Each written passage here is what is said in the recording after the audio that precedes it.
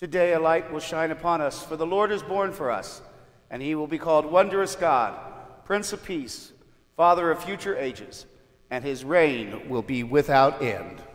In the name of the Father, and of the Son, and of the Holy Spirit, Amen. the grace of our Lord Jesus Christ, the love of God, and the fellowship of the Holy Spirit be with you always. With Happy New Year, everybody. what a great way to start off a new year. I thought 2020 ended yesterday. Now we're back into 2021, and here we have an ice storm. All right, well, as we come together to celebrate these sacred mysteries on this great solemnity of the Blessed Mother, let us call to mind our sins. I confess to Almighty God and to you, my brothers and sisters, that I have greatly sinned in my thoughts and in my words, what I have done, what I have failed to do through my fault, through my fault, through my most grievous fault. Therefore, I ask Blessed Mary, ever Virgin, all the angels and saints, and you, my brothers and sisters, to pray for me to the Lord our God. May Almighty God have mercy on us, forgive us our sins, and bring us to life everlasting. Lord, have mercy. Christ, have mercy. Lord, have mercy. Glory to God in the highest, and on earth peace to people of good will. We praise you. We bless you. We adore you. We glorify you. We give you thanks for your great glory. Lord God, Heavenly King, O God, Almighty Father, Lord Jesus Christ, only begotten Son, Lord God, Lamb of God, Son of the Father. You take away the sins of the world, have mercy on us. You take away the sins of the world, receive our prayer. You are seated at the right hand of the Father, have mercy on us. For you alone are the Holy One. You alone are the Lord. You alone are the Most High, Jesus Christ, with the Holy Spirit, in the glory of God the Father. Amen. And let us pray. O God, who through the fruitful virginity of Blessed Mary bestowed on the human race the grace of eternal salvation, grant, we pray, that we may experience the intercession of her, through whom we were found worthy to receive the author of life, our Lord Jesus Christ, your Son, who lives and reigns with you in the unity of the Holy Spirit one God forever and ever.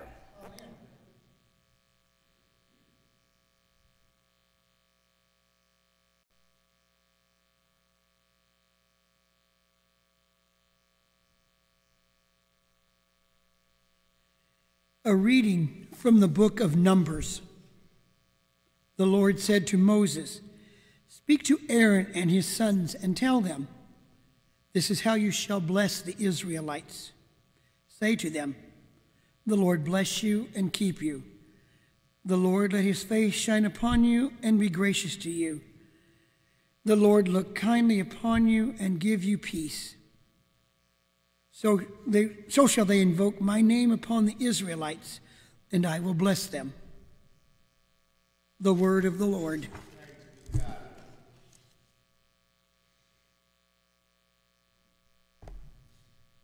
May God bless us in his mercy. May God bless us in his mercy. May God have pity on us and bless us. May he let his face shine upon us. So may your way be known upon earth, among all nations, your salvation. May God bless us in his mercy. May the nations be glad and exult, because you rule the peoples in equity. The nations on earth you guide. May God bless us in his mercy.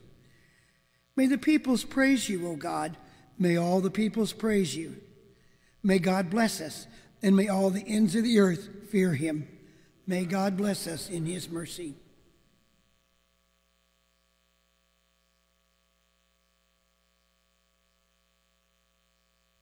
A reading from the letter of St. Paul to the Galatians. Brothers and sisters, when the fullness of time had come, God sent his Son born of a woman, born under the law, to ransom those under the law, so that we might receive adoption as sons. As proof that you are sons, God sent his Spirit of his Son into our hearts, crying out, Abba, Father.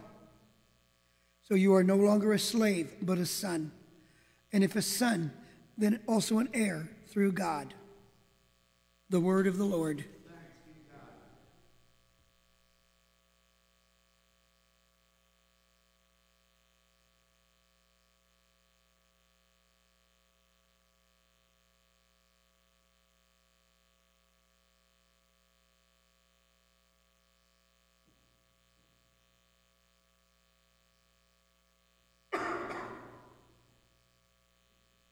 Alleluia, alleluia.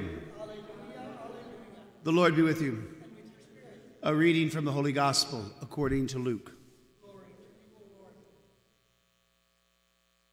The shepherds went in haste to Bethlehem and found Mary and Joseph and the infant lying in the manger. When they saw this, they made known the message that had been told to them about this child. All who heard it were amazed by what had been told to them by the shepherds. And Mary kept all these things, reflecting on them in her heart. Then the shepherds returned, glorifying and praising God for all they had heard and seen, just as it had been told to them. When eight days were completed for his circumcision, he was named Jesus, the name given him by the angel before he was conceived in the womb. The Gospel of the Lord. All right, we'll try to make this short, sweet, and to the point this morning since it's beginning to sleet out there again. Today we get together to not only begin a new year and to bring an, another year to an end, but we also come together to praise and glorify God. And we hear in our responsorial psalm today that wonderful, that wonderful prayer God, bless us in your mercy. And what a beautiful way to start off a new year. Not asking God to bless us in his power or his might or his majesty or his glory, but ask him to bless us in his mercy. That this year we may begin off on the right foot in union with God, being forgiven of our sins, starting anew, refreshed, a whole new beginning. But it's more than just that. It's more than just a turning of a page of a calendar. It's a chance to remind us that we are called to put God first and foremost in our lives, just as Mary put Jesus first and foremost in her life. And we see this per- per- most perfectly in that message of the shepherds today in our gospel reading. It's a message that we should all hear and take to heart. Because what are the shepherds doing? the first thing they did was that they were out in the fields guarding their sheep. A cold night, probably a night like any other night, trying to keep the wolves and the stray dogs and all of that away from their sheep. They smell, they're dirty, they're the dredge of society. They're really not welcomed anywhere. Nobody really likes them. And yet, on that night, in that fullness of time, as Paul tells us, the heavens opened, and the first persons to hear that message of the Savior coming into the world were these lowly shepherds. And what did they do? The first thing they did was they believed. The second thing that they did, they went and saw. The third thing that they did, they went out and praised God. And that's still our message today is to believe, to, to glorify, and to be heralds. Whether it be January 1st or December the 31st, each and every day of our lives, we're called to live that life of Christ. We're called to immerse ourselves in God's mercy. We're called to immerse the world in God's mercy. And if there was ever a time in this world that we need God's mercy, it's now more than ever. It's been a tumultuous year. We've lived through a pandemic. We were beginning to see the end or the light at the end of the tunnel in that. We've had a tumultuous election. Our politics seem to be going down the drain. And yet, we Christians, we Catholics, we know that our faith is centered on the rock of Christ. And when those winds of turmoil blow around us, when we feel like we're being tossed about on a ship in an ocean, about to drown in the waves of disorder and chaos. We reach down into our hearts and we grab hold of that rock. We grab hold of Christ. And whatever we go through, whatever we went through last year, and whatever we go through this year, we know that Christ, Emmanuel, goes with us. What a great feeling to know that we walk with Christ this year. Of course, we walked with Christ last year, and the year before, and the year before. And that's the message to always remind ourselves on this day to give praise and glory to God that He sent His only Son into the world, born of a woman, that He might assume the dignity of being a human Himself, that He might suffer, that He might mourn, that He might grow hungry, go tired, feel those, those pangs of friendship breaking and feel the love of friendship. He was like us in all things but sin, so that through His grace, through His mercy, we might become like Him, sinless, blameless, and perfect in His sight. Because isn't that what we were called to be? In our Eucharistic prayer, it says that we are called to be holy, or I guess it's not a Eucharistic prayer, it's our preface to the Eucharistic prayer.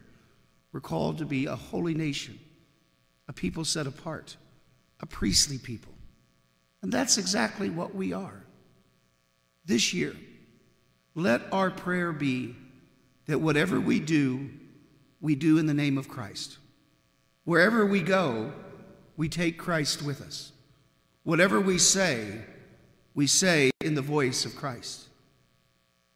This year, let it be a great opportunity for us to grow more in love with God as He grows more in love with us, to give ourselves more fully to each other, to be able to be truly be called disciples of the living God, that we might believe, glorify, and herald His kingdom in the world this year.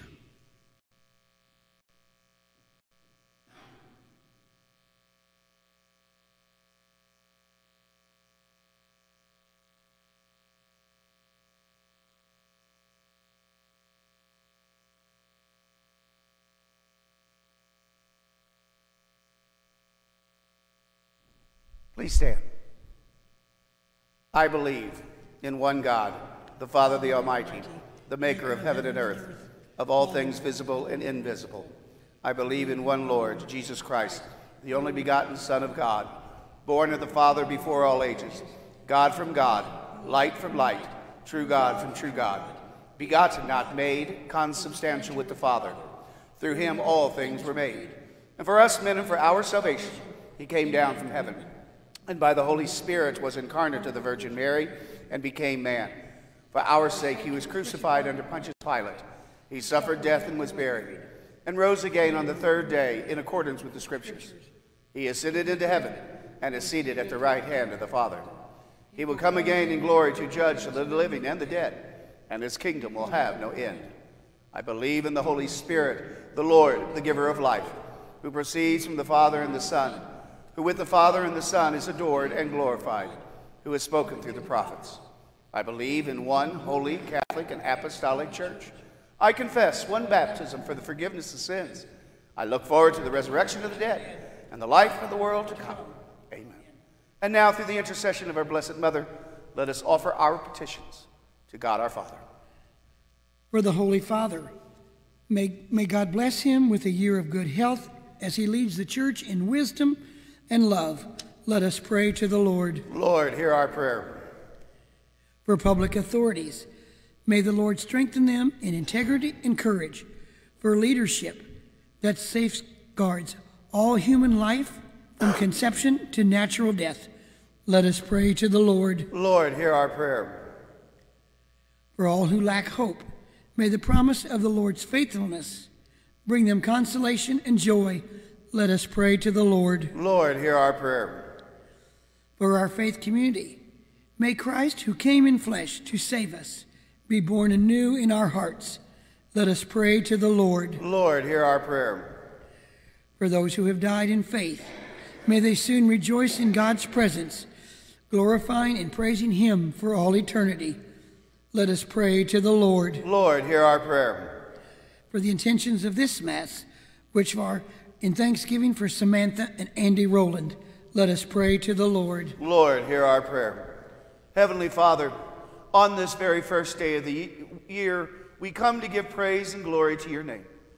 Bless us this day and this year forward, that we may grow more in the image and likeness of your Son. We ask all of this through Christ our Lord. Amen.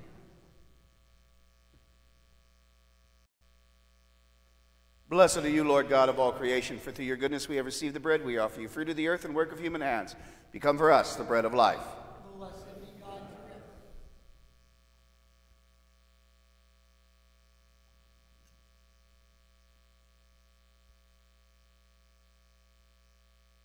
By the mystery of this water and wine, may we come to share in the divinity of Christ, who humbled himself to share in our humanity.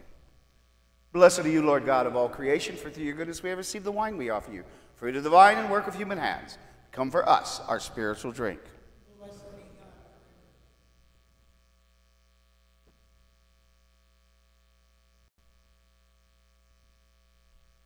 Lord, wash away my iniquity and cleanse me of my sins.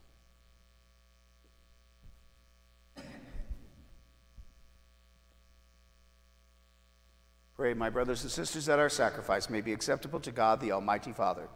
May the Lord accept the sacrifice at your hands for the praise and glory of his name, for our good and the good of all his holy church.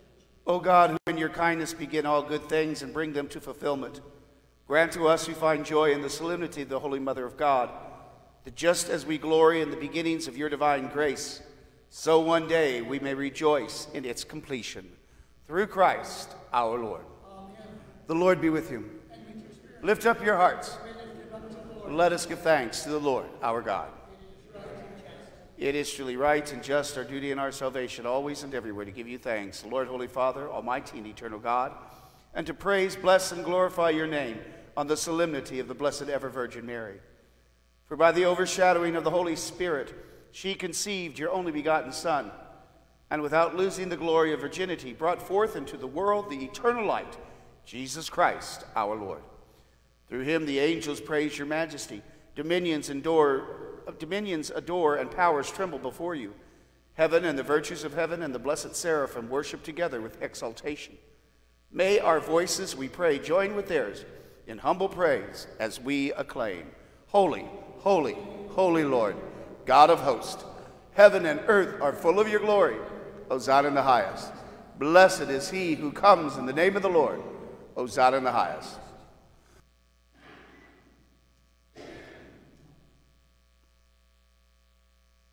You are indeed holy, O Lord, the font of all holiness.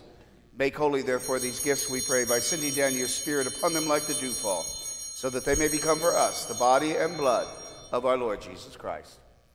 At the time he was betrayed and entered willingly into his passion, he took bread and, giving thanks, broke it and gave it to his disciples, saying, Take this, all of you, and eat of it, for this is my body, which will be given up for you.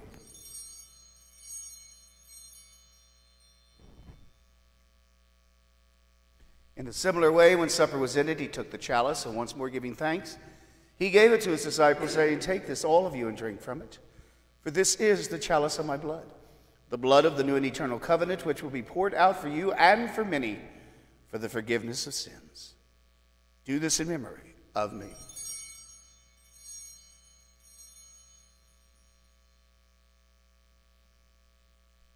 The mystery of faith.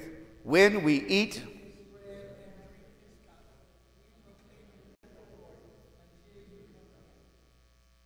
Therefore, as we celebrate the memorial of his death and resurrection, we offer you, Lord, the bread of life and the chalice of salvation, giving thanks that you have held us worthy to be in your presence and minister to you. Humbly we pray that partaking of the body and blood of Christ, we may be gathered into one by the Holy Spirit. Remember, Lord, your church spread throughout the world, and bring her to the fullness of charity, together with Francis our Pope, Shawn our Bishop, and all the clergy. Remember our brothers and sisters who have fallen asleep in the hope of the resurrection and all who have died in your mercy. Welcome them into the light of your face.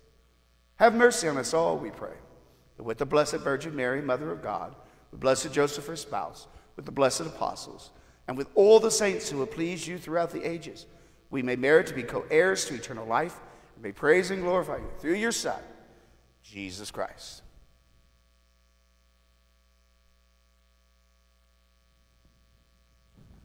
Through him and with him and in him, O God Almighty Father, in the unity of the Holy Spirit, all glory and honor is yours forever and ever.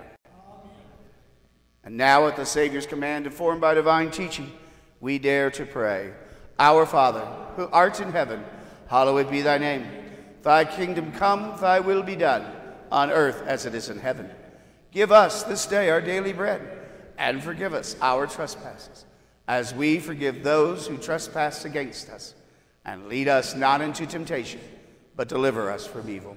Deliver us, Lord, we pray, from every evil. Graciously grant peace in our days, and by the help of your mercy, we may be always free from sin and safe from all distress as we await the blessed hope and the coming of our Savior, Jesus Christ.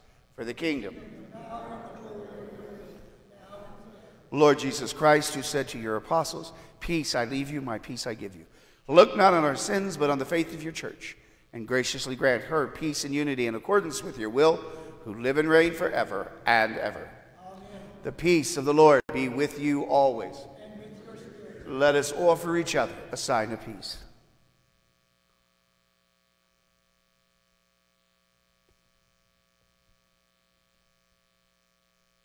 Lamb of God.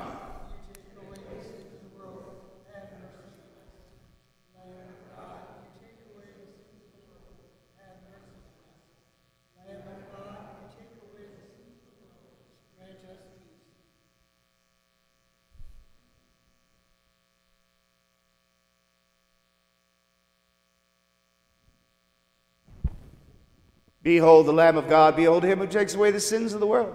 Blessed are those who are called to the supper of the Lamb. Lord, I am not worthy that you should enter under my roof, but only say the word, and my soul shall be healed.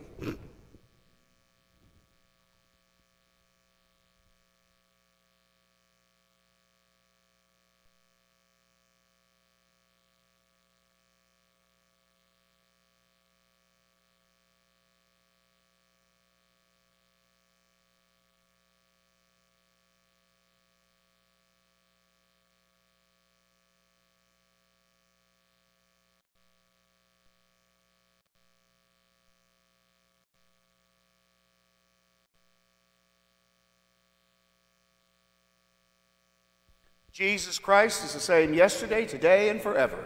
Hallelujah.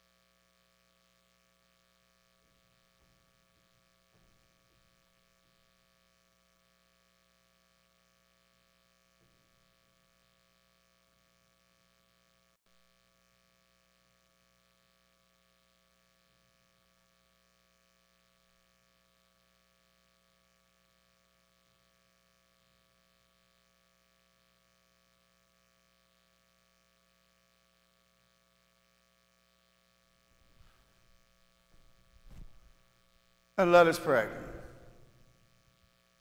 We have received this heavenly sacrament with joy, O Lord. Grant, we pray, that it may lead us to eternal life.